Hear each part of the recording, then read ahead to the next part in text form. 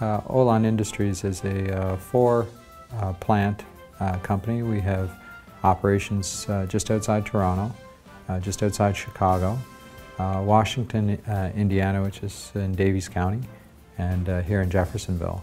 we manufacture wood products, largely for residential housing and the office furniture industries.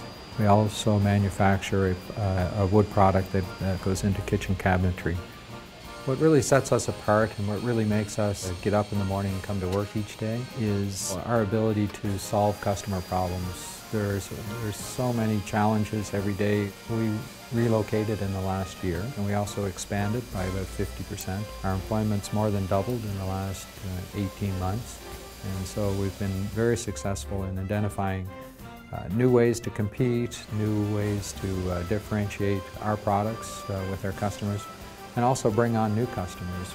But we wanted to grow into the U.S. market, and really this geography is ideal. 75% of the population is within a day's drive of here, and so we're ideally located. If we want to grow in the U.S., we need to be geocentric. We need to be in, a good location. We said, you know what, this is it's a good place for us to grow.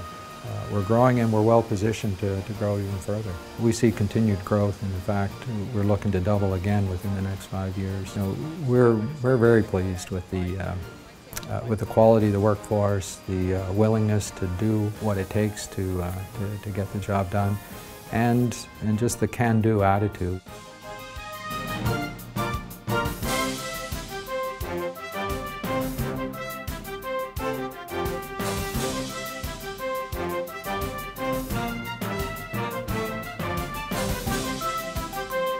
I brought this plant from the ground up myself. I brought one other engineer.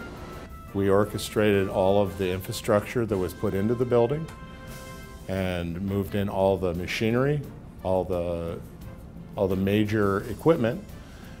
And then I put it, together a team that took it beyond that to the next level where we started making production.